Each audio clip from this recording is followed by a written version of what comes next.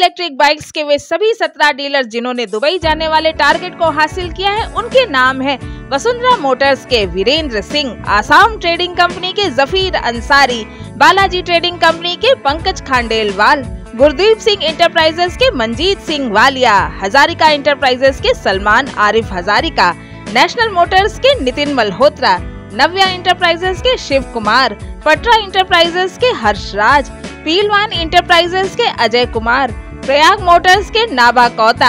rising enterprises की पूनम सिंह रिया enterprises के अचिंतो बोरा